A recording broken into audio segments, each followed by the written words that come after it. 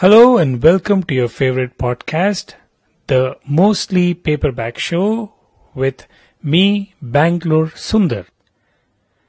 In our last podcast about the book Captain Class by Sam Walker, we talked about the 16 greatest or elite teams of all times.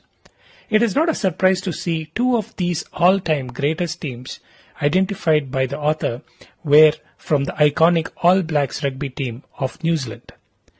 Now, what makes the All Blacks so special?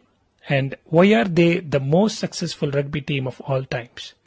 They have an extraordinary success rate of over 86%. How do they do it? What is the secret of their success?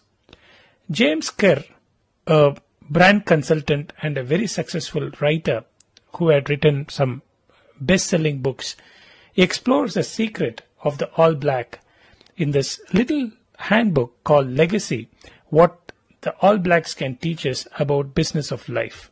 Spread over 150 pages and 15 chapters, this book covers the guiding principles of the All Blacks team, like building a strong character, the importance of sacrifice, the rituals they follow, how they're able to maintain a level headed approach, whether it is about success or when they're faced with failures.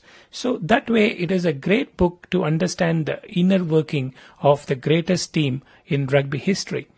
Now, the author regularly emphasizes the importance given to the jersey. For the All Blacks team, the jersey is a badge of honor.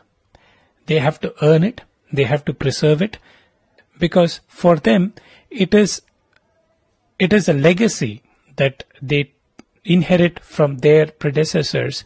They preserve it to be given to their successors. Such a beautiful concept.